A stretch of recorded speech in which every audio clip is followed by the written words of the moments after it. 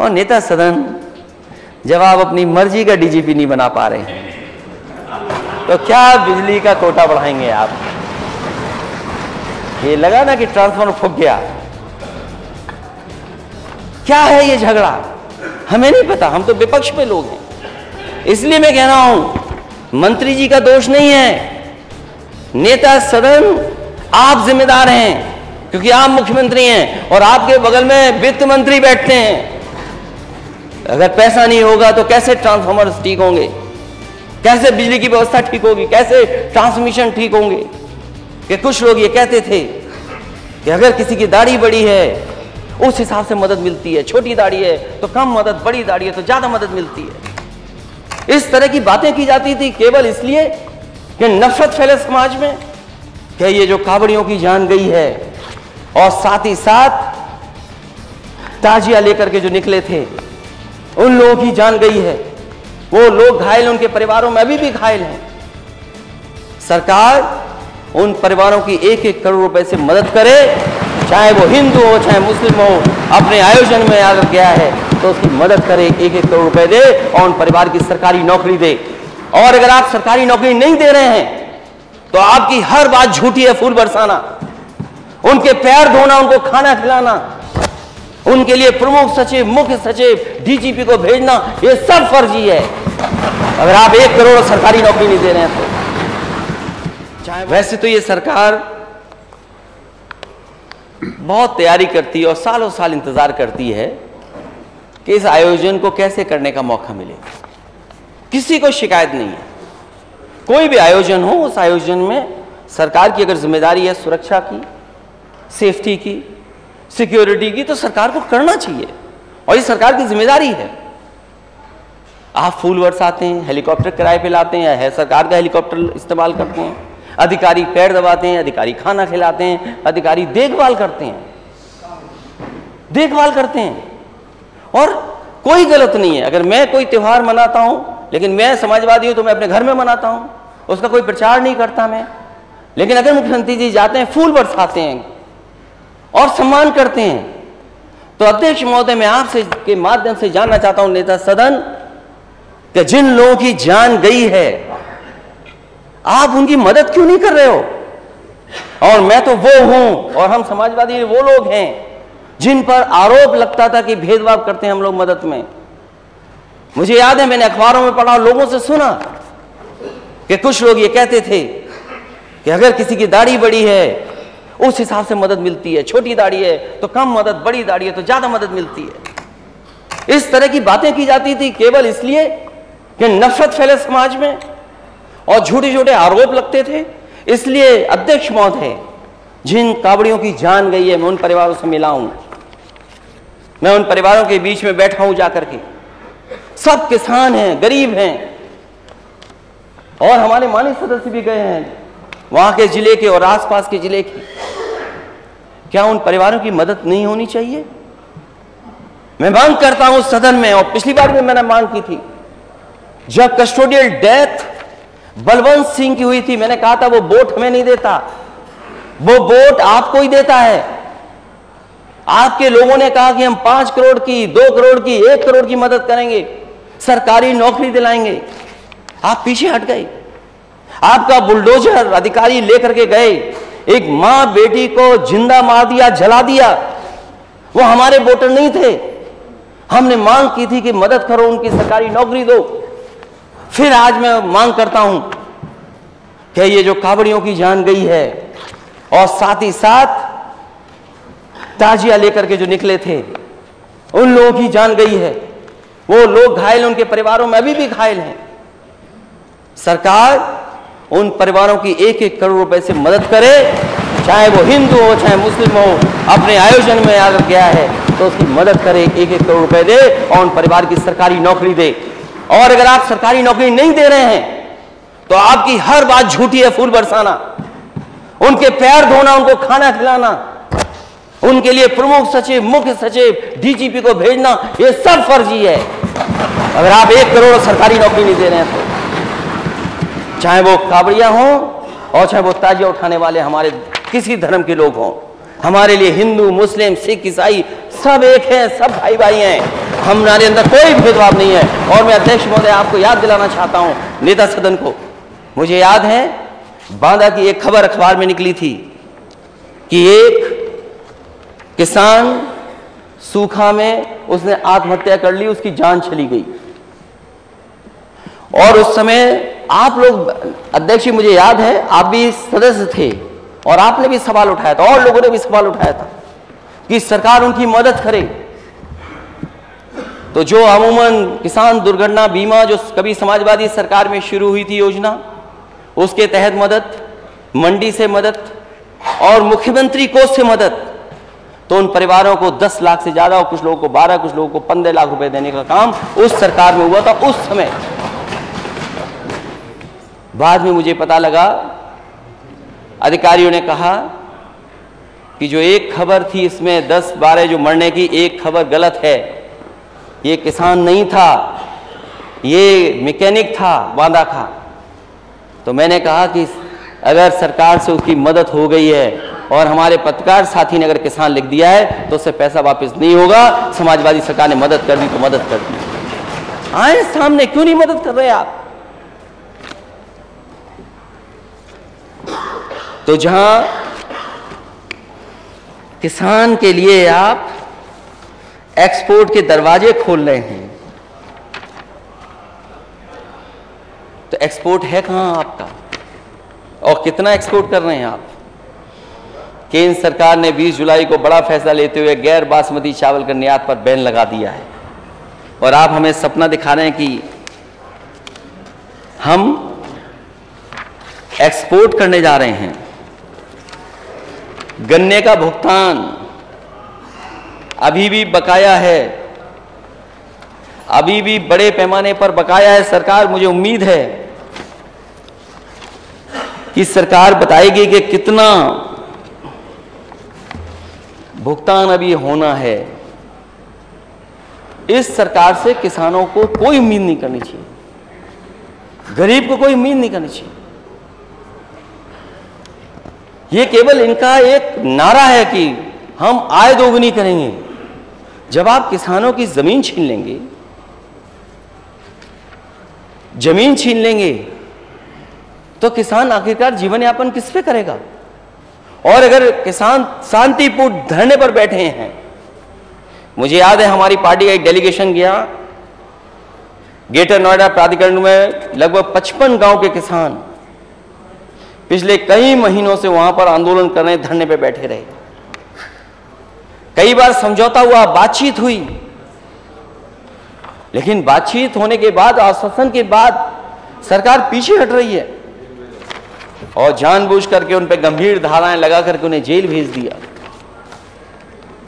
अगर किसान अपनी ज़मीन दे रहा है और आप उस पर मुनाफा कमाएँगे, आप बिज़नेस करेंगे ये नोएडा ग्रेटर नोएडा को ज़मीन जो ली जा रही है, वो कोई पेड़ लगाने के लिए ज़मीन नहीं ली जा रही है। एंड ऑफ़ डे आप उस पर बिज़नेस करेंगे, मुनाफा कमाएँगे। तो आप किसानों की जेब क्यों नहीं भर रहे हैं? किसानों की मदद क्यों नहीं कर रहे हैं?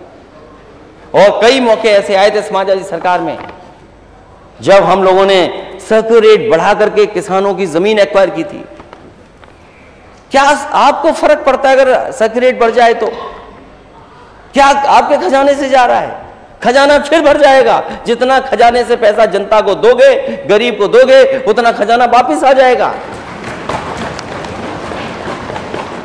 समय समय पर हमें अयोध्या के किसान भी मिले, गरीब भी मिले। अभी कुछ दिन पहले परिक्रमा मार्ग के लोग मिले मुझे, किसान। निषाद हैं और दूसरी बिरादरी के लोग हैं। हमारे समाज के भी लोग हैं। और कमाल तो ये है, परिक्रमा का अलाइनमेंट बदल रहे हैं। जो परिक्रमा सदियों से, पौराणिक, उससे यात्रा होती थी, ज़मीन हमारी कीमत बढ़ जाए, उसकी ज़मीन चली जाए। और सर्कुलेट क्या? वही जो किसान का मार्केट वैल्यू से जाने कहाँ सर्कुलेट मुझे उम्मीद है कि एक पुण्य काम के लिए आप ज़मीन ले रहे हैं। उनका सर्किट रेट ज़रूर बढ़ाएँगे। वो गरीब हैं, वो निशा समाज के हैं ये आदर्श समाज के हैं, और भी पिछड़े समाज के हैं। कम से कम उनके साथ अन्याय नहीं होगा, और फिर उस परिक्रमा मार्ग पर पेड़ लगे हुए हैं। और हिस्टोरिकल और आपके हमारे जो पौराणिक हैं जिनकी कोई विशेषता है कोई ना कोई, वो पेड़ लगे हुए हैं, सब काटे जा रहे हैं। शायद नेता सदन को ये ना पता हो, हालाँकि मैं ये बात नहीं कह सकता हूँ, लेकिन मैं एक सुझाव के तौर में कह रहा हूँ कि अगर आप उनको ट्रांसलोकेट कर सकें, निकाल करके दूसरी जगह लगा सकें तो बड़ी कृपा होगी, क्योंकि आपके पेड़ लगाने का शौक तो केवल कागज़ी है। आप कागज़ में बहुत अच्छा पेड़ लगाते हैं। बोले, ये साल इतने करोड़। बोले, ये साल इतना करोड़। ये साल इतने करोड़। और शायद नेता सदन अभी तक तो 133 करोड़ पेड़ लगा चुके हैं। पता नहीं है कहाँ लगाने कहीं ऐसा तो नहीं, चोरी छिपे टमाटर के पौधे लगा दिए गए हो कहीं। 133 करोड़ पेड़ कहाँ लग रहे हैं? ये सब कागज़ पे लग रहे हैं। कहीं नहीं लगाए जा रहे हैं केवल कागज़ पे लगाए जा रहे हैं। और अगर पेड़ लगे भी होते हैं तो शायद जंगल दिखाई देगा। अध्यक्ष महोदय कितना समय देंगे आप मुझे? जितना आपने मांगा था उससे ज़्यादा हो गया। अब मांगने को तो हमने कम मांगा था। लेकिन मैं आपने रैपअप कर देता हूँ बहुत जल्दी रैपअप कर दूँगा। हाँ, लेकिन अध्यक्ष महोदय आपसे भी मेरा निवेदन है। नहीं नहीं मैंने ये नहीं कहा मैंने कहा जितना आपने कहा था। अच्छा रैपअप कर देता हूँ मैं। आप बताइए प्लीज़ फार्मर्स की डबल इनकम कैसे होगी? कोई मान्य सदस्य ऐसा नहीं जिसने सूखा पर और बाढ़ पर चिंता व्यक्त न की हो। कोई ऐसा सदस्य नहीं है जिसने सूखा और बाढ़ पर अपनी बात न रखी हो क्योंकि वो जब क्षेत्र में जाते हैं कुछ सदस्यों के क्षेत्र में बाढ़ बहुत है। कुछ सदस्यों के क्षेत्र में सूखा है। लेकिन सरकार क्या कर रही है? ये अगर आप सूखा और बाढ़ का नियंत्रण नहीं रखेंगे और लॉन्ग टर्म कोई प्रोग्राम सरकार के पास नहीं होगा, जो क्लाइमेट चेंज हो रहा है, जिस तरीके से पैटर्न क्लाइमेट का बदल रहा है और जिस तरीके से बरसात हो रही है, हमने, आपने देखा हिमाचल की बरसात को। ये पहले नहीं होता था क्लाउड बस्ट हो जाए। अब तो नई चीज़ हो गई क्लाउड बस्ट हो रहा है, एकदम पानी गिरता है। और हमारी नदियों की कैपेसिटी नहीं है कि हम उतना पानी ड्रेन कर सकें। हमारे नालों की कैपेसिटी उतनी नहीं कि हम पानी को ड्रेन कर सकें। और उसका परिणाम क्या है? वहाँ के आसपास का नुकसान बड़े पैमाने पर। हिमाचल की जो तस्वीर देखी, हिमाचल से जो शुरुआत हुई बाढ़ की, वो हमारे दिल्ली और नोएडा, गाजियाबाद के इलाके में चली गई। और वेस्टर्न उत्तर प्रदेश की तमाम नदियों में बाढ़ आ गई। तमाम बाढ़ आ गई वहाँ पर नदियों में। नुकसान हुआ। ये जो सरकार कहती है हमारी क्रॉस क्रॉप इंश्योरेंस अरे अरे ये तो वैसे अध्यक्ष महोदय हमारे ये जो हैं पर्सनालिटी में बहुत अच्छे हैं। इनसे अच्छी पर्सनालिटी किसी की नहीं है। और अब तो उन्होंने स्टाफ की बात कह दी है। वैसे ये समाजवादी हैं रंग से ही स्टाफ हैं। वैसे समाजवादी हैं। तो हमें उम्मीद है कि अपना इन्होंने सीक्रेट उधर दे दिया है तो शायद बंदा नहीं बनेगा। अब क्रॉप क्रॉप इंश्योरेंस स्कीम, उसका क्या हुआ? क्रॉप इंश्योरेंस स्कीम, आप कहते थे, और कब प्रधानमंत्री जी ने कहा कि क्रॉप इंश्योरेंस स्कीम से हम किसान की मदद करेंगे। छोड़िए हमारे हमारे साथ के सदस्यों का। यहाँ जो दश के मान्य सदस्य हैं, बताओ क्रॉप इंश्योरेंस में कितने किसानों की आप मदद करा पाए हैं? छोड़िए छोड़िए हमारे लोगों को। कह रहे थे, ई प्लेटफॉर्म बनाएँगे। मार्केट देंगे हम फार्मर्स को। और आपने तो सस्टेनेबल सस्टेनेबल गोल्स पर एक बहस की थी, पूरी रात भर जग करके और कहते थे कि हम तो उनका भर देंगे, क्या जेब भर देंगे? और बिजली पे तो अभी हम बोले ही नहीं है। बिजली की हालत क्या है? क्या हालत है बिजली की?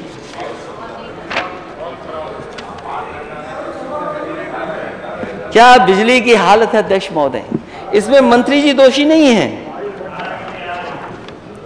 अध्यक्ष महोदय, मंत्री जी दोषी नहीं है। वो तो अभी बने मंत्री जी। नेता सदन कितने दिन से आप मुख्यमंत्री हैं? साढ़े छह साल से ज़्यादा हो गए। आपने बिजली विभाग का क्या सत्यानाश किया है? इतनी ट्रिपिंग ट्रांसफार्मर बर्बाद, रखो, फूक गया। ये कहाँ से ट्रांसफार्मर बनवा रहे हैं आप? और गोरखपुर की खबर तो मैंने पढ़ी, सबसे ज़्यादा गोरखपुर में फूक गए ट्रांसफार्मर क्या हो रहा है गोरखपुर में? आप तो दावा कर रहे थे कि कुछ ज़िले वीआईपी थे। अगर कुछ ज़िले वीआईपी थे, नेता सदन, आज सदन में बताओ आप। आज आपको बताना चाहिए कि पिछले साढ़े छह साल में आपने अपनी तरफ़ से कौन सा पावर प्लांट बनवाया जिसका बिजली उत्पादन हो रहा है और उत्तर प्रदेश को बिजली मिल रही है? बताइए आप। अब तो नाम लेना मैं भी बंद कर दिया हूँ। नेता सदन नाम नहीं लेते तो हमने भी कहा, क्यों नेता सदन को तकलीफ़ देनी? हम भी नाम नहीं लेते प्लांटों का। वही तो प्लांट बन रहा है, कोई नया प्लांट तो नहीं बन रहा?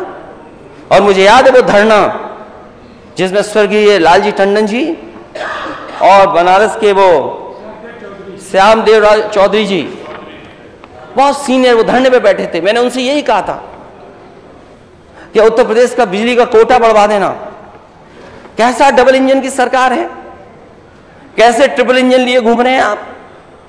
क्या उत्तर प्रदेश का बिजली का कोटा बढ़ा पाए आप?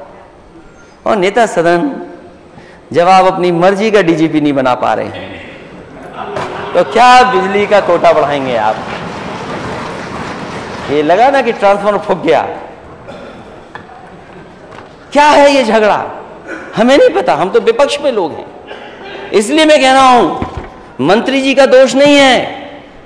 नेता सदन आप जिम्मेदार हैं, क्योंकि आप मुख्यमंत्री हैं और आपके बगल में वित्त मंत्री बैठते हैं।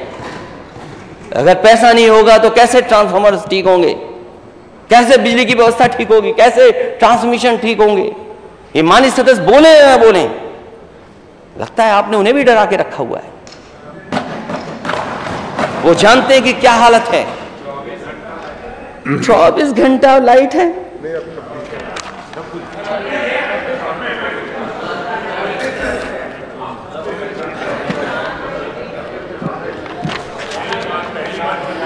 और चैरिटी बिगिंस एट होम एक बीजेपी बहुत कहती परिवारवाद परिवारवाद की शुरुआत नेता सदन आपने की है। आपने शुरू की। आप मुझसे पहले लोकसभा में सांसद बने। तो आपको सदन को यह बताना पड़ेगा कि परिवारवाद किसने पहले शुरू किया। और आपको तो डबल लाभ मिला। डबल इंजन डबल लाभ। आप सांसद भी बने और मठ के अध्यक्ष भी बन गए आप ही। मालिक भी आप ही हैं। तो परिवारवाद का असली लाभ तो आपको मिला है। हम लोगों को नहीं मिला किसी को। तो ये जो परिवारवाद है, अगर किसी ने शुरुआत की है तो हमारे नेता सदन ने शुरुआत की। हम तो आपकी बात बने हैं।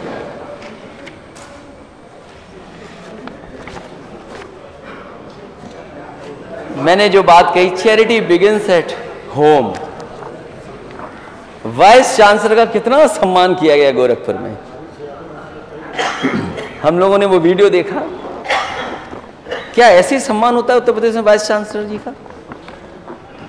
और जब वो छूट करके आए तो जो जेल गए थे, उनका सम्मान हुआ। सोचिए आप। आप वाइस चांसलर का ऐसे सम्मान कराएँगे? और फिर शिक्षकों की नियुक्ति नियुक्ति यूनिवर्सिटी की नियुक्ति। आप छप्पन बता गए छियालीस में। छियालीस में छप्पन, आज भी हम गिनती गिनते हैं, छियालीस में छप्पन। तो कम से कम आपके जो हुआ है, इसमें पीडीए कहाँ है? कहाँ है पीडीए और फिर हमारे एक साथी थे, अब उन्होंने ऑर्बिट बदल ली है।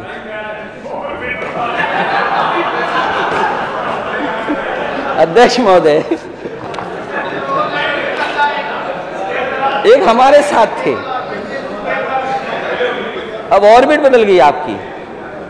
आप यही तो बताते थे मुझे कि गोरखपुर की भर्ती, बांदा यूनिवर्सिटी की भर्ती, सब भूल गए आप? अरे। और अध्यक्ष महोदय अगर खड़े ही हो रहे हैं अरे खड़े अध्यक्ष महोदय मैं बैठ जाऊँगा खड़ा हो रहे हैं खड़े हो रहे हैं। अगर आप अगर आप अध्यक्ष बैठेंगे सर, तो एक मिनट। अध्यक्ष महोदय इन ये जितने लोग बैठे हैं उन्होंने एक गाना सुना था। और जब मैं मंच पे रहता था इनके साथ तो एक गाना हमेशा गाते थे। चल सन्यासी मंदिर में। और अब मैं बैठना चाहूँगा और आप खड़े होना। अध्यक्ष महोदय केवल गाने के लिए खड़ा कर रहा हूँ इनको। जो पहली लाइन तो इन्होंने गा दी उस गाने की दूसरी लाइन गा दे मैं बैठ जा रहा हूँ। मेरे अंगने में तुम्हारा क्या काम है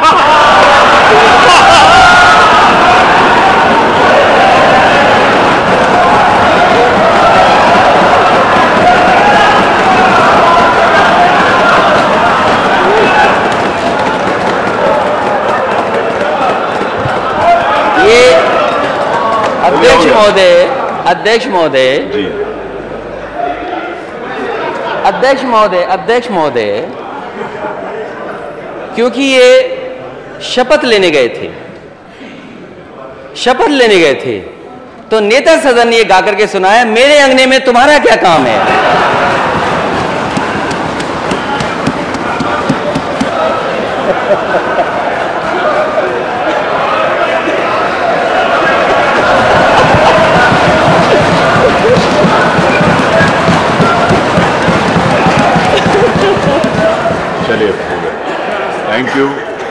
अभी thank you sir thank you धन्यवाद।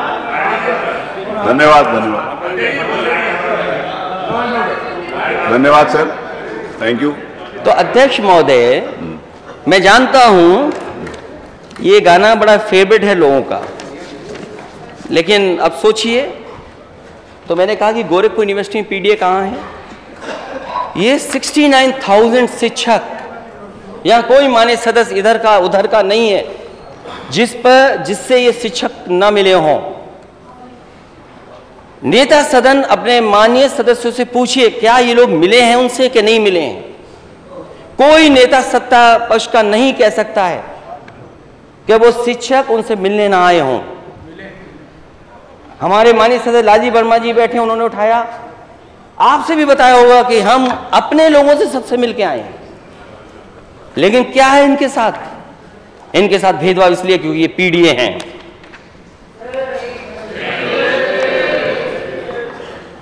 ऐसे कितने मैं बताऊँ आपको? बहुत सारी ऐसी बातें हैं जो मैं कह सकता हूँ। बिजली विभाग के बारे में जो बात रखी गई, और मान्य सदस्य सभी चिंतित हैं, बोलें या ना बोलें, लेकिन बहुत चिंतित हैं, क्योंकि आए दिन जब ट्रांसफार्मर रखा जाता है जैसे ही बिजली आती है, वो ट्रांसफ़र फूक जाता है। क्या नेता सदन ये बताएँगे कि ट्रांसमिशन लाइंस और ट्रांसफॉर्म के ट्रांसफॉर्मर के लिए आप बजट देंगे? आप हमारी निधि से उम्मीद करते हैं कि हम अपनी निधि लगा दें उसमें। तो फिर सरकार क्या कर रही है? वित्त विभाग क्या कर रहा है? और इतने सालों से आप संभाल रहे हैं बिजली। आप क्या कर रहे हैं? अगर कोई जिम्मेदार है ट्रांसफ़र फूकने का ट्रांसमिशन लाइन का तो नेता सदन है। इनको ज़िम्मेदारी लेनी चाहिए उसकी। थैंक यू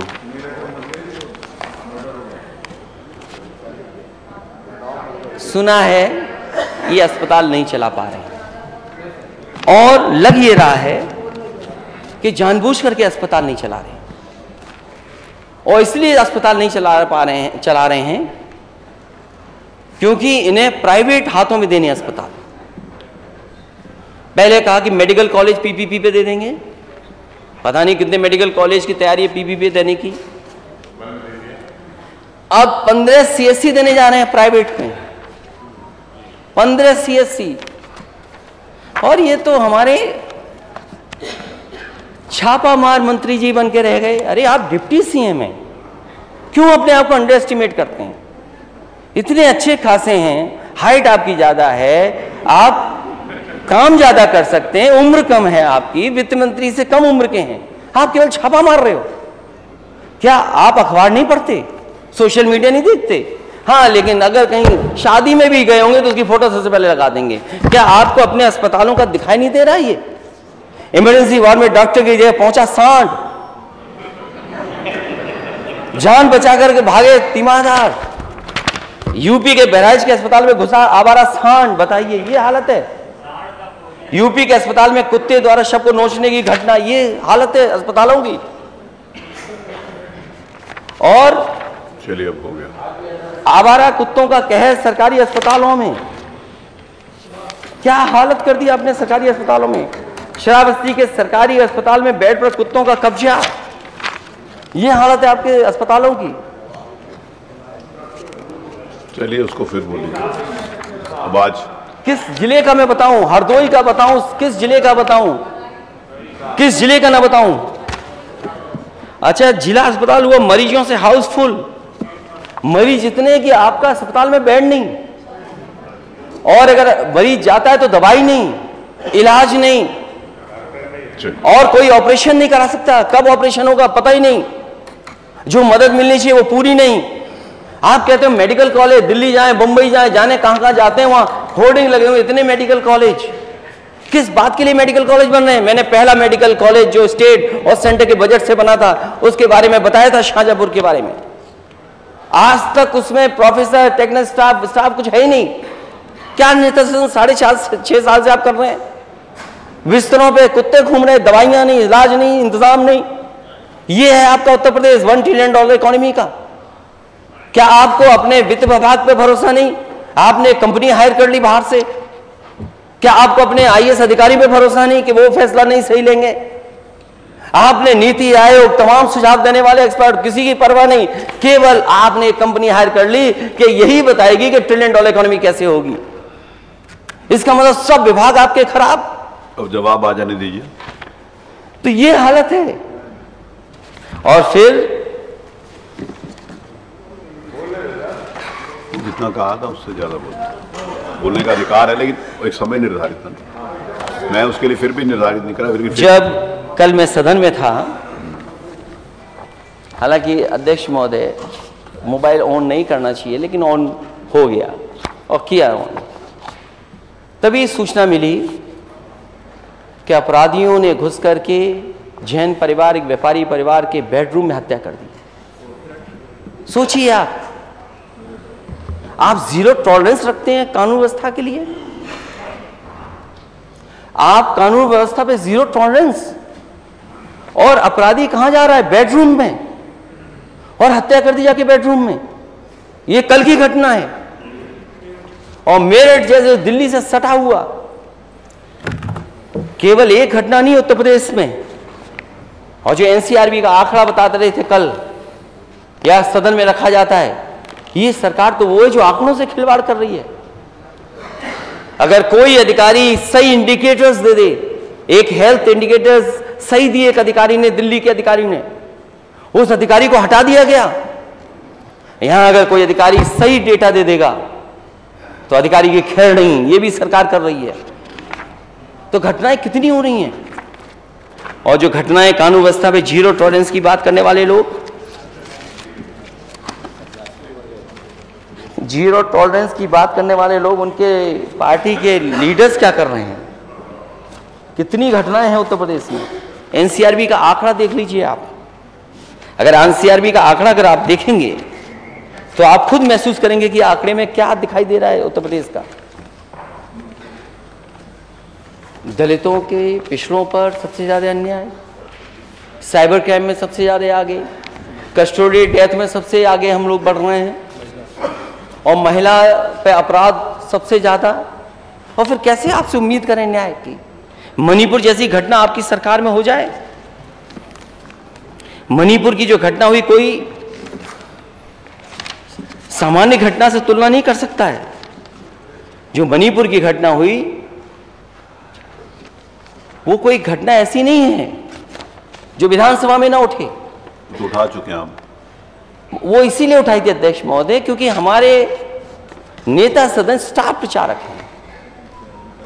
क्या स्टार प्रचारक का यह कर्तव्य नहीं बनता कि अगर कहीं इस तरह की घटना हुआ जाए उनके दुख दर्द में शामिल हों? और फिर दुनिया ने हमें क्या कहा है? वो मैंने उस दिन भी पढ़ा मैं दोबारा नहीं कहना चाहता हूँ दुनिया ने क्या कहा हमें? दुनिया ने क्या कहा हमें? और फिर, जो लॉ एंड ऑर्डर पे ज़ीरो टॉलरेंस की बात कर रहे हो, उन पे डीजीपी परमानेंट ना हो। जो डायल हंड्रेड थी रिस्पांस सिस्टम वो बर्बाद कर दिया हो। और कोई जिला ऐसा नहीं, या कोई जगह ऐसी नहीं बीजी जहाँ सबसे ज़्यादा महिलाएँ असुरक्षित महसूस ना कर रही हो। और इस सरकार में कुल इनकाउंटर दस हज़ार, घायल पाँच हज़ार।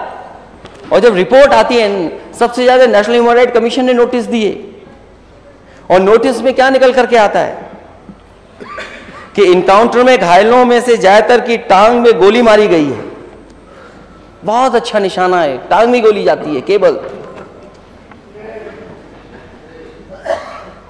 और पुलिस इनकाउंटर में अभी तक तेरह पुलिसकर्मी शहीद हुए, जिनमें अकेले विकास दुबे मामले में आठ पुलिसकर्मी शहीद हो गए।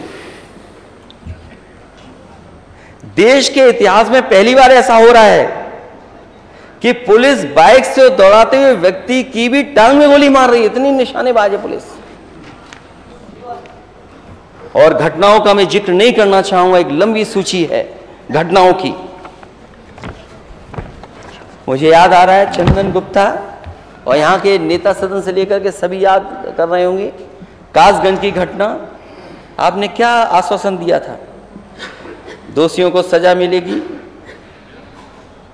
परिवार के एक सदस्य को सरकारी नौकरी मिलेगी। आप ही के लोग आश्वासन देकर के आए थे। वो कहाँ है सरकारी नौकरी?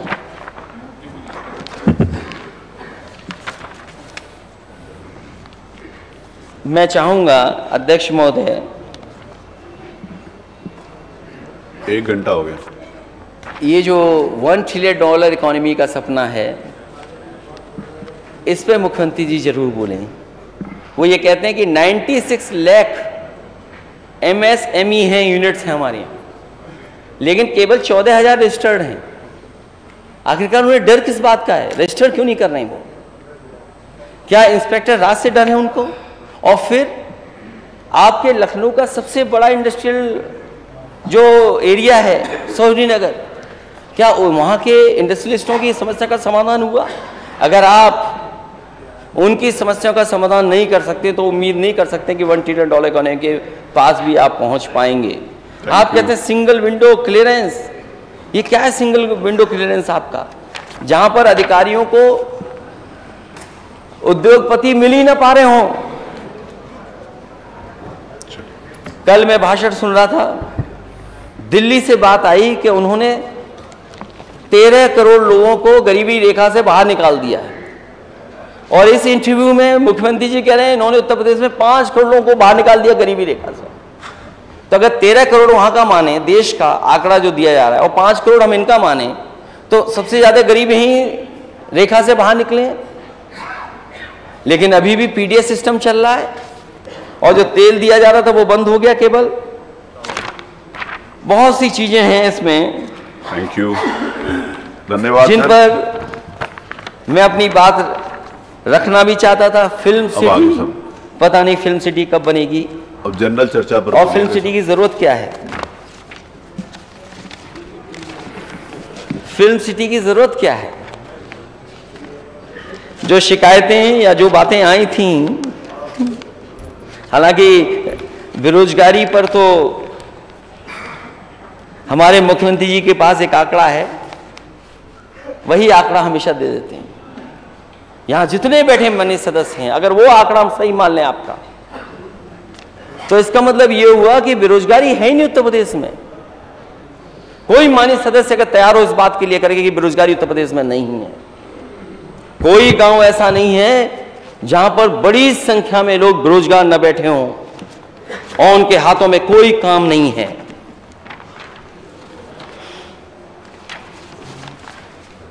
थैंक यू हालाँकि ये सरकार में जो लोग हैं वो समाज बांट के ही काम करते हैं। जब तक दरार नहीं पैदा करेंगे तब तक आगे नहीं बढ़ सकते। और केवल समाज में दरार जीवी लोग दरार डाल करके अपना उल्लू सीधा करते हैं राजनीति का। जो घटनाएँ हुई हैं मणिपुर में, हरियाणा में, जो नकार दी गई हैं जनता ने, कोई घटना कहीं हो उसकी निंदा होनी चाहिए। और खासकर अगर बेटी महिलाओं के साथ हो, कहीं भी हो उसकी हम निंदा करते हैं। और जो इस तरह की घटना में शामिल उनके खिलाफ कार्रवाई हो। अध्यक्ष महोदय मैं आपका धन्यवाद देना चाहता हूँ। और साथ ही साथ अरे पीछे से फिर मैं उम्मीद करता हूँ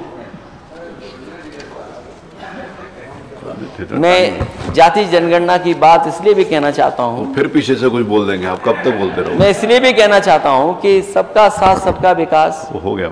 सबका साथ तभी आएगा जब गैर बराबरी खत्म हो जाएगी।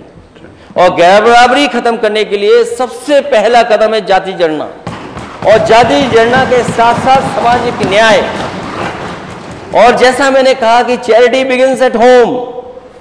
Gorakhpur university में जो भर्तियाँ हुई हैं, या जो आपने छप्पन में छियालीस बोला।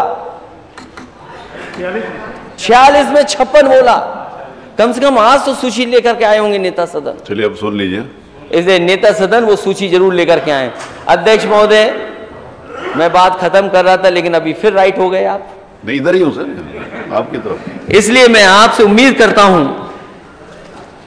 कि जो माननीय सदस्यों ने अपनी बात रखी है यहाँ पर चाहे वो बिजली विभाग को लेकर के सूखा को लेकर के किसान को लेकर के गरीब को लेकर के माताएँ बहनों को लेकर के या उत्तर प्रदेश में जो ज़ीरो टॉलरेंस चाहे वो करप्शन हो चाहे वो लॉ एंड ऑर्डर हो उन बातों को रखा है। मुझे उम्मीद है कि नेता सदन उन पर कुछ विचार करेंगे और जो हम लोगों ने मांग की है कि कहीं भी मदद में भेदभाव ना हो, उस भेदभाव से ऊपर उठ करके नेता सदन मदद करें और हमें उम्मीद है अध्यक्ष महोदय, कम से कम नेता सदन इस बार सत्य बोलें। बहुत बहुत धन्यवाद। लेफ़्ट से राइट